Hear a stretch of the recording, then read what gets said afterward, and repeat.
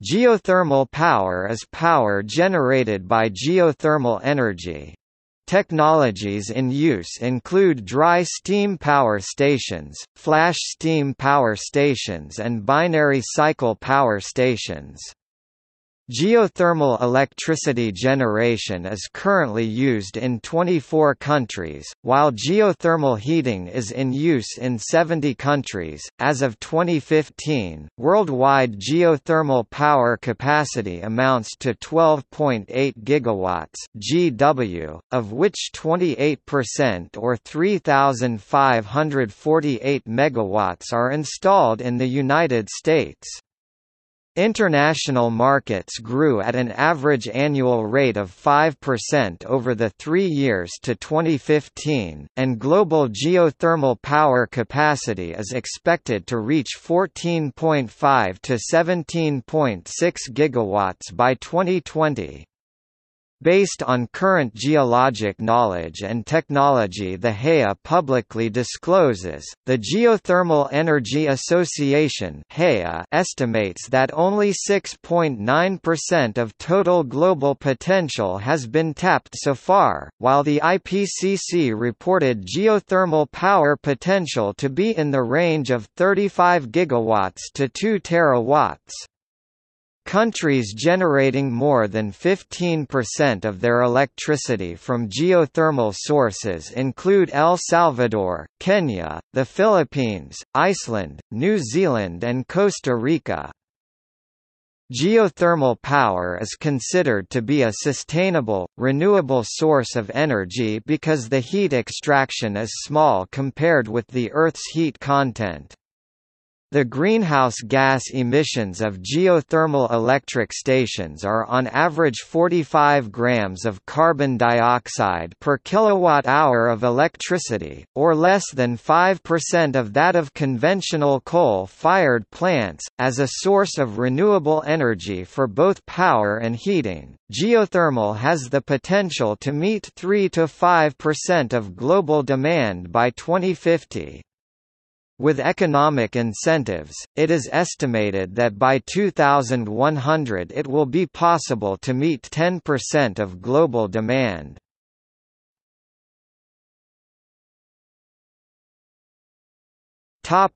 History and development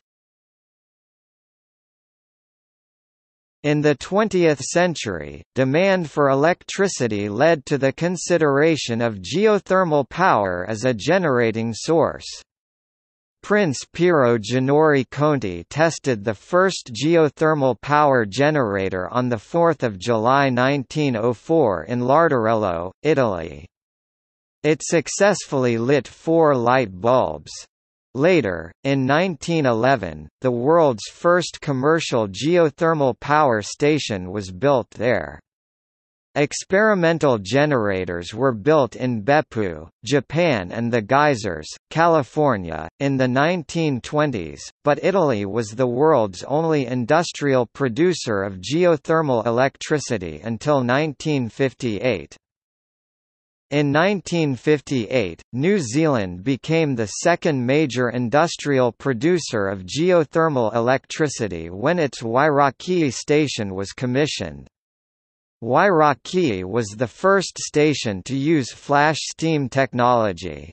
Over the past 60 years, net fluid production has been in excess of 2.5 cubic kilometers. Subsidence at Wairakei Tauhara has been an issue in a number of formal hearings related to environmental consents for expanded development of the system as a source of renewable energy. In 1960, Pacific Gas and Electric began operation of the first successful geothermal electric power station in the United States at the Geysers in California.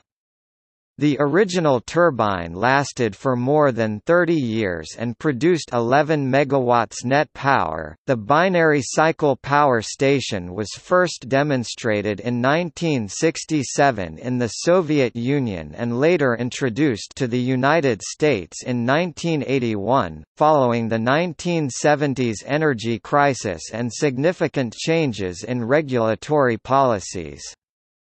This technology allows the use of much lower temperature resources than were previously recoverable. In 2006, a binary cycle station in Chena Hot Springs, Alaska, came online, producing electricity from a record low fluid temperature of 57 degrees Celsius (135 degrees Fahrenheit). Geothermal electric stations have until recently been built exclusively where high-temperature geothermal resources are available near the surface. The development of binary cycle power plants and improvements in drilling and extraction technology may enable enhanced geothermal systems over a much greater geographical range. Demonstration projects are operational in Landau-Pfalz, Germany, and Soultz-sous-Forêts, France, while an earlier effort in Basel, Switzerland was shut down after it triggered earthquakes. Other demonstration projects are under construction in Australia, the United Kingdom, and the United States of America. The thermal efficiency of geothermal electric stations is low, around 7 to 10%, because geothermal fluids are at a low temperature compared with steam from boilers. By the laws of thermodynamics this low temperature limits the efficiency of heat engines in extracting useful energy during the generation of electricity. Exhaust heat is wasted, unless it can be used directly and locally, for example in greenhouses, timber mills, and district heating.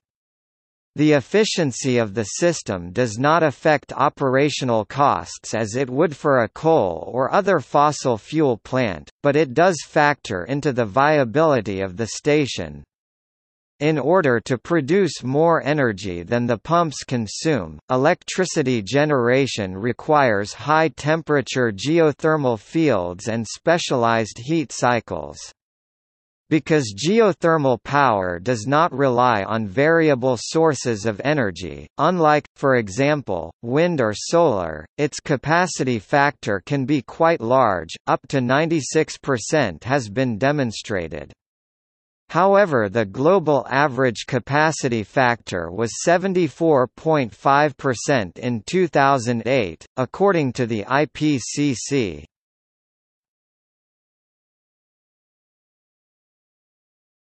Topic: Resources. The Earth's heat content is about 1 times 1019 terajoules, 2.8 times 1015 terawatt-hours. This heat naturally flows to the surface by conduction at a rate of 44.2 terawatts and is replenished by radioactive decay at a rate of 30 terawatts. These power rates are more than double humanity's current energy consumption from primary sources, but most of this power is too diffuse approximately 0.1 with M2 on average to be recoverable. The Earth's crust effectively acts as a thick insulating blanket which must be pierced by fluid conduits of magma, water or other to release the heat underneath. Electricity generation requires high-temperature resources that can only come from deep underground. The heat must be carried to the surface by fluid circulation, either through magma conduits, hot springs, hydrothermal circulation, oil wells, drilled water wells, or a combination of these. This circulation sometimes exists naturally where the crust is thin, magma conduits bring heat close to the surface, and hot springs bring the heat to the surface. If no hot spring is available, a well must be drilled into a hot aquifer. Away from tectonic plate boundaries the geothermal gradient is 25 to 30 degrees Celsius per kilometer km of depth in most of the world, so wells would have to be several kilometers deep to permit electricity generation.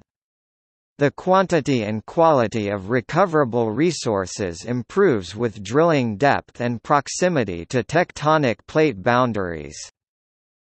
In ground that is hot but dry, or where water pressure is inadequate, injected fluid can stimulate production.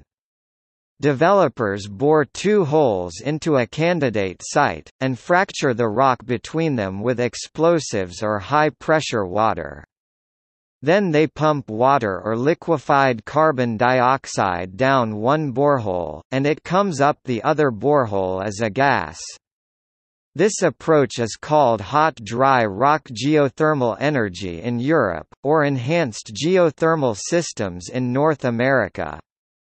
Much greater potential may be available from this approach than from conventional tapping of natural aquifers. Estimates of the electricity generating potential of geothermal energy vary from 35 to 2000 gigawatts depending on the scale of investments. This does not include non-electric heat recovered by cogeneration, geothermal heat pumps and other direct use. A 2006 report by the Massachusetts Institute of Technology (MIT) that included the potential of enhanced geothermal systems estimated that investing 1 billion US dollars in research and development over 15 years would allow the creation of 100 gigawatts of electrical generating capacity by 2050 in the United States alone. The MIT report estimated that over 200 times 109 terajoules, 200 ZJ, 5.6 times 107 terawatt-hours would be extractable, with the potential to increase this to over 2000 ZJ with technology improvements, sufficient to provide all the world's present energy needs for several millennia. At present, geothermal wells are rarely more than 3 kilometers (1.9 miles) deep. Upper estimates of geothermal resources assume wells as deep as 10 kilometers (6.2 miles). Drilling near this depth is now possible in the petroleum industry, although it is an expensive process. The deepest research well in the world, the Kola Superdeep Borehole (KSDB3), is 12.261 kilometers (7.619 miles) deep. This record has recently been imitated by commercial oil wells, such as Exxon's Z12 well in the Chayvo field, Sakhalin. Wells drilled to depths greater than 4 kilometers (2.5 miles) generally incur drilling costs in the tens of millions of dollars. The technological challenges are to drill wide bores at low cost and to break larger volumes of rock. Geothermal power is considered to be sustainable because the heat extraction is small compared to the Earth's heat content, but extraction must still be monitored to avoid local depletion. Although geothermal sites are capable of providing heat for many decades, individual wells may cool down or run out of water. The three oldest sites, at Larderello, Wairakei, and the geysers have all reduced production from their peaks. It is not clear whether these stations extracted energy faster than it was replenished from greater depths, or whether the aquifers supplying them are being depleted. If production is reduced, and water is reinjected, these wells could theoretically recover their full potential. Such mitigation strategies have already been implemented at some sites. The long-term sustainability of geothermal energy has been demonstrated at the Larderello field in Italy since 1913, at the Wairakei field in New Zealand since 1958, and at the Geysers field in California since 1960.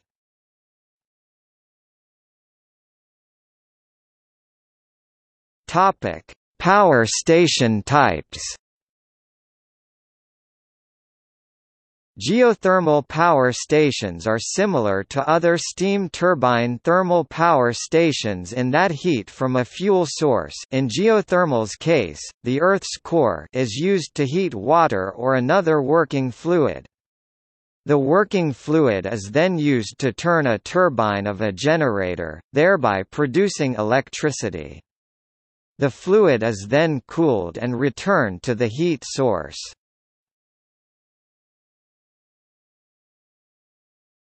Topic: Dry steam power stations. Dry steam stations are the simplest and oldest design. This type of power station is not found very often, because it requires a resource that produces dry steam, but is the most efficient, with the simplest facilities. In these sites, there may be liquid water present in the reservoir, but no water is produced to the surface, only steam. Dry steam power directly uses geothermal steam of 150 degrees Celsius or greater to turn turbines. As the turbine rotates it powers a generator which then produces electricity and adds to the power field. Then, the steam is emitted to a condenser. Here the steam turns back into a liquid which then cools the water. After the water is cooled it flows down a pipe that conducts the condensate back into deep wells, where it can be reheated and produced again. At the geysers in California, after the first 30 years of power production, the steam supply had depleted and generation was substantially reduced. To restore some of the former capacity, supplemental water injection was developed during the 1990s and 2000s, including utilization of effluent from nearby municipal sewage treatment facilities.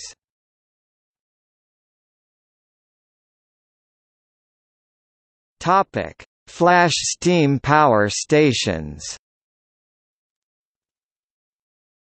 Flash steam stations pull deep, high-pressure hot water into lower-pressure tanks and use the resulting flashed steam to drive turbines. They require fluid temperatures of at least 180 degrees Celsius, usually more. This is the most common type of station in operation today. Flash steam plants use geothermal reservoirs of water with temperatures greater than 360 degrees Fahrenheit 182 degrees Celsius. The hot water flows up through wells in the ground under its own pressure. As it flows upward, the pressure decreases and some of the hot water boils into steam. The steam is then separated from the water and used to power a turbine, generator. Any leftover water and condensed steam may be injected back into the reservoir, making this a potentially sustainable resource.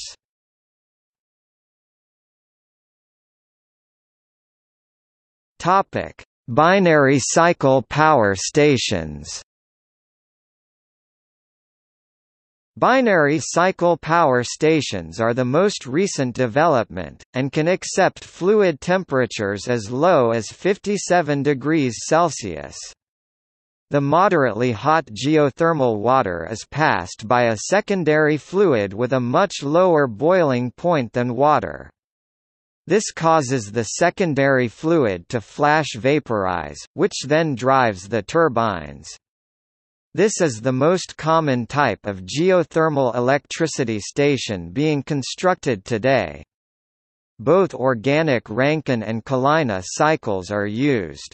The thermal efficiency of this type station is typically about 10 to 13 percent.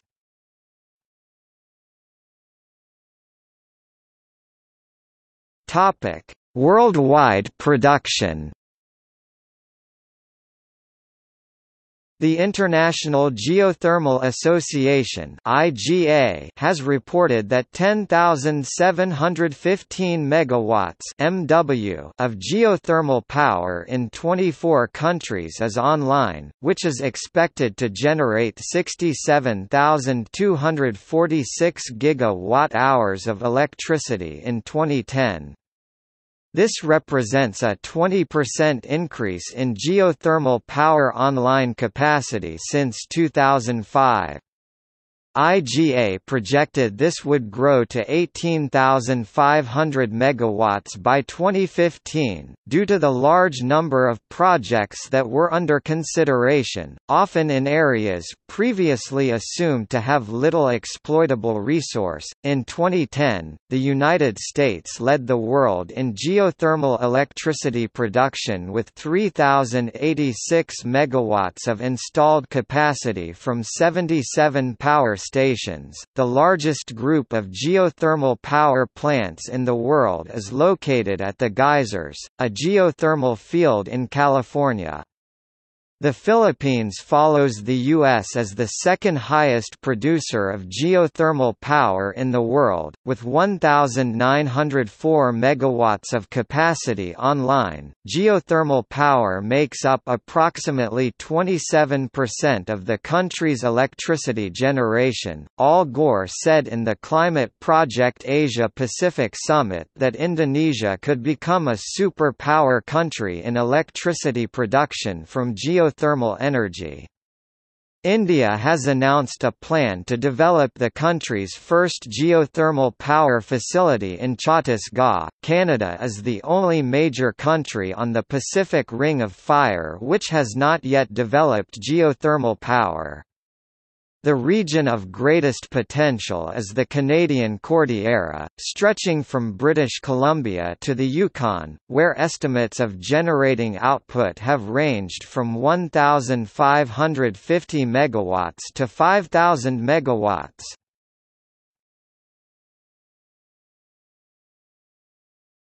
Topic: Utility grade stations.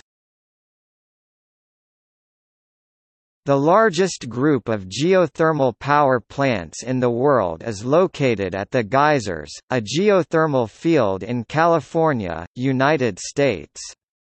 As of 2004, five countries El Salvador, Kenya, the Philippines, Iceland, and Costa Rica generate more than 15% of their electricity from geothermal sources. Geothermal electricity is generated in the 24 countries listed in the table below. During 2005, contracts were placed for an additional 500 megawatts of electrical capacity in the United States, while there were also stations under construction in 11 other countries. Enhanced geothermal systems that are several kilometers in depth are operational in France and Germany and are being developed or evaluated in at least four other countries.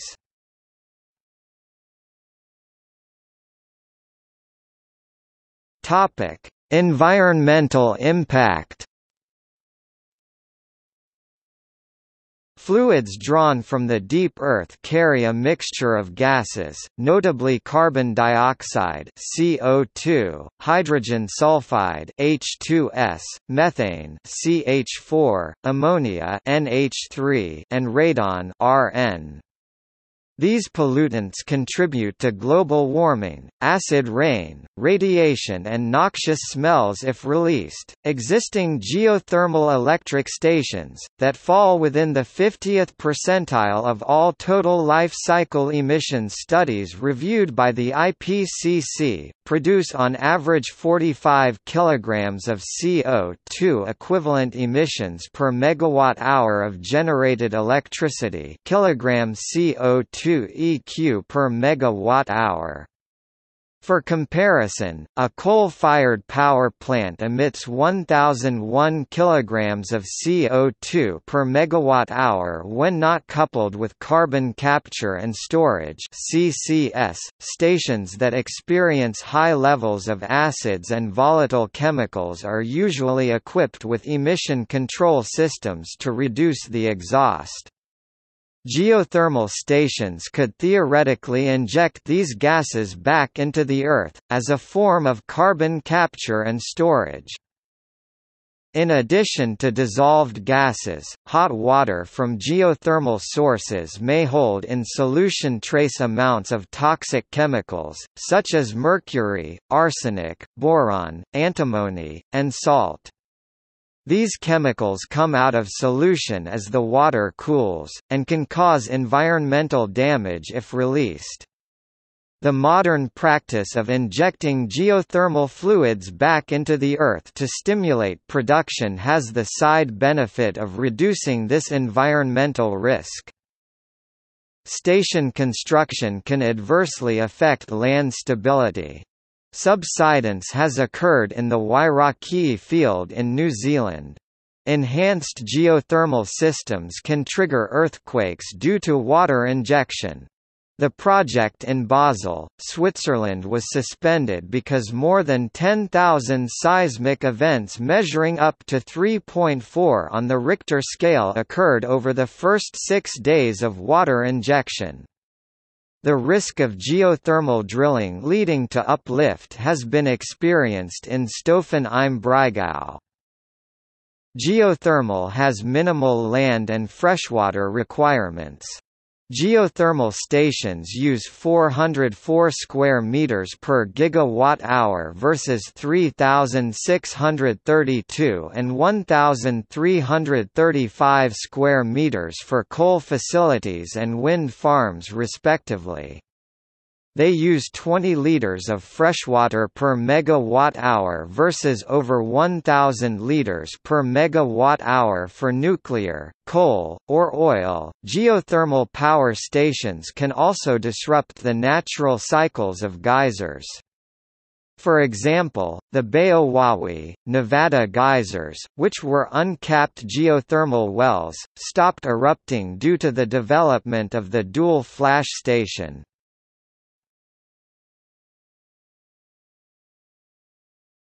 Topic: Economics. See also, cost of electricity by source. Geothermal power requires no fuel, it is therefore immune to fuel cost fluctuations. However, capital costs tend to be high. Drilling accounts for over half the costs, and exploration of deep resources entails significant risks. A typical well doublet in Nevada can support 4.5 megawatts (MW) of electricity generation and costs about $10 million to drill, with a 20% failure rate. In total, electrical station construction and well drilling costs about 2–5 million euros per megawatt of electrical capacity, while the levelized energy cost is 0.04–10 cents per kilowatt-hour. Enhanced geothermal systems tend to be on the high side of these ranges, with capital costs above $4 million per megawatt and levelized costs above $0.054 per kilowatt-hour in 2007. Geothermal power is highly scalable. A small power station can supply a rural village, though initial capital costs can be high. The most developed geothermal field is the geysers in California. In 2008, this field supported 15 stations, all owned by Calpine, with a total generating capacity of 725 megawatts.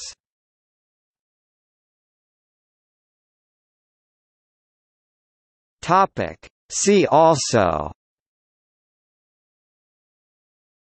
Geothermal heating Enhanced geothermal system. Iceland Deep Drilling Project. Renewable energy by country